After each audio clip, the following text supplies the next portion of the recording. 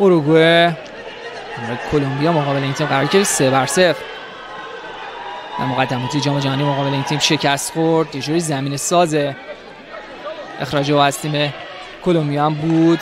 موقعیت برای ایران. ارسال به روی دروازه و توی دروازه. گل برای ایران. مهدی طارمی حساب کار رو یک بر صفر می‌کنه.